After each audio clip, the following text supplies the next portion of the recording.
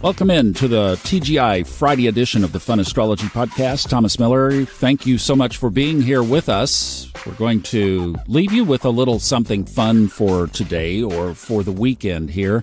We set up the next several days yesterday and even looked over the hill into September and October.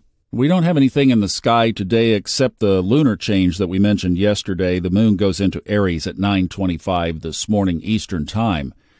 I love pulling out my files from the Steve Forrest audiobooks that I narrated for him. I just love his writing style, his wit, and especially his wisdom. The last book we did is called The Endless Sky, and it's an accumulation of like 70 something articles that Steve had published over the last 20 years that during COVID he sat down and compiled into a book. Thusly, a lot of the articles are dated, obviously. So, for instance, he talks about in 2016, there's an article in there about when the saints go marching in, and he talks about the kids being born since 2011 and 12 under Neptune and Pisces and how they're spiritually attuned. Well, you can still get a lot of great information out of that article. Another one, the one we're going to listen to now, is from chapter 5 it goes back to 2014 when Saturn and Mars were both going into retrograde at the same time. But just like the article about the saints coming in, this one too holds some wonderful keys and nuggets of information that we can glean nearly 10 years later. That whole series of Steve Forrest books is available on Audible and on iTunes, which is now Apple Books. You don't need a subscription for either and I do get a percentage of the sale, so it does help support the podcast. Thank you so much in advance. I'm not going to do a closing. We'll just leave you with the audiobook. Enjoy. I'll see you back tomorrow with Ray Merriman. Chapter 5 Continuing with our theme of rehabilitating some of astrology's allegedly criminal elements, here we take on the two so-called malefics, Saturn and Mars in their fiercest modes of expression when they are making stations. Again, our theme is not that everything is automatically wonderful. Rather, it is an affirmation that everything in astrology can potentially serve the evolving soul. Everything can potentially be gotten right, in other words. Nothing astrological happens simply to annoy you or make a mess of your life. As you listen, you might recall that the Crimean crisis occurred right on schedule. Russia invaded Ukrainian territory and the world was pushed to the brink of war.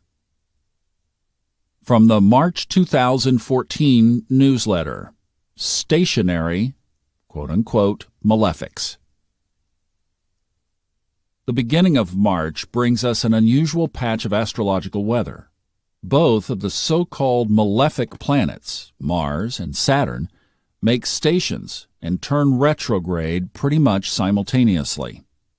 Mars does so on the first of the month, near the end of Libra. Saturn follows just about 24 hours later while in the latter part of Scorpio. Mars will remain retrograde in Libra until May 19th, then Saturn turns direct a few weeks later on July 20th still in Scorpio. When a planet is stationary, its energy is simply more pronounced. Everyone feels it more strongly.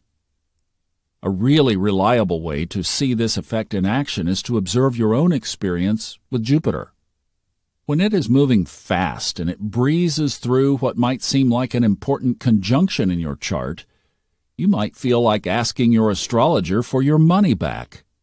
Where was that promised good luck? You didn't hit the Powerball after all. But if Jupiter makes a station on the same sensitive point, start picking out extra features for your new Lamborghini. In astrology, slow is powerful, and stopped is as slow as slow can get.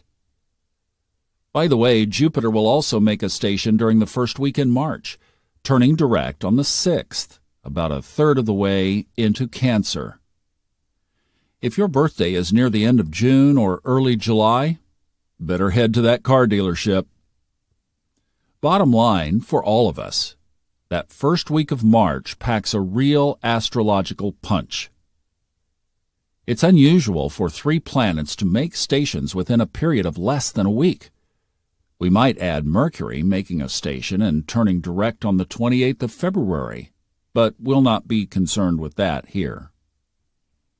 All in all, we are looking at a period in which a great many things are coming to a head both globally and personally.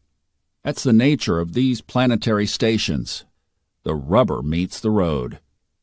Inner energy and outward circumstances connect and ignite. Let's start by thinking about Mars and Saturn and their problematic designations as malefics. There's really nothing inherently unlucky about either planet, or for that matter, any planet. Mars can represent courage and appropriate assertiveness, while Saturn is about self discipline and integrity. With Mars, if you are brave, the planet is your ally. Is there a situation in your life in which you really need to speak up and to make your needs and views felt? If so, you'd better do it near the beginning of the month. That's because wimpier responses to a Mars station generally leave us victimized and injured. Just be careful not to get up on your high horse. Mars can bring self righteousness, excessive passion, and the use of too much force into a situation. In any case, the call to find that martial middle path will be strong during the first part of the month. The laws of synchronicity declare that whatever Mars situations you are facing are reaching critical mass then. Meanwhile, Saturn calls for strength too, but of a different kind. Sometimes it asks us to simply endure some suffering for the sake of a principle. An example might be when you have a friend who is seriously ill and needs your help and support. You may be tired and overextended, but you visit her in the hospital anyway. The lazy alternative of blowing her off and staying home involves such a loss of self respect and dignity that it's not worth any ease that it might bring. Still, you need to be wary of Saturn. Whose values are you living out? Your own? Or do they come from some bogus sense of right and wrong that originated in someone manipulating you with shame? Saturn can depress and exhaust us when we are reading our moral lines from someone else's script. What about the combination of these two planetary stations? The whole, as usual, is not only greater than, but also different from the sum of the parts. It takes real courage to endure. It takes courage to make a stand. Sometimes it takes great moral strength simply to keep your mouth shut when you are tempted to wreak havoc on the souls of others because you are so angry at them. This is what it feels like when both Saturn and Mars pulse together this way. At best, Saturn gives moral values and direction to that fiery martial energy, while Mars charges up Saturn and gives it the ability to blast through a wall of previous limitations. Such a Mars Saturn period is a time for the use of measured force.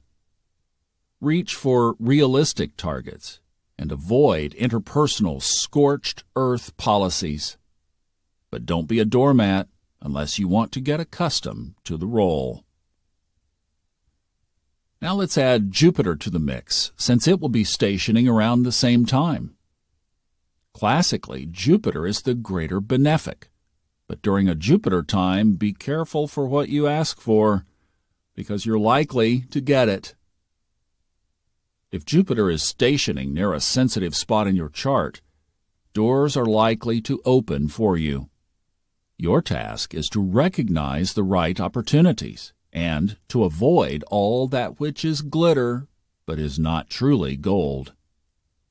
How do you tell the difference? Having Mars and Saturn in play at the same time helps to clarify that question in a specific way. They add a new element to the mix. As we just saw, they both like challenges. These two planets actually enjoy some difficulty. Jupiter isn't like that, but when it is in partnership with the other two, the total picture becomes a synthesis of all three. I am envisioning the sweetest apple near the top of the tree. How badly do you want it? The apple is there, but to get it, you have to do some climbing. The laws of synchronicity declare that such opportunities will be presenting themselves to you in early March, especially if you have sensitivities to the sign and degree position these three planets currently occupy. Meanwhile, the law of impermanence suggests that these opportunities will not remain available for long. The stars are aligned for ambitious moves requiring effort, moves that take courage, and moves that will give you a sense of pride and dignity as you look back upon them. And looking back is the spirit of the retrograde periods that began in early March. Mars will remain retrograde until May 19th, while Saturn turns direct later on July 20th. You will have that period to digest and integrate the fruits of your strong response to those energies or to reflect upon the price of fear and hesitation. Meanwhile, Jupiter makes its station and turns direct on the 6th, suggesting expanding horizons, the fruit of the decisiveness, audacity, and clarity you mustered at this critical crossroads.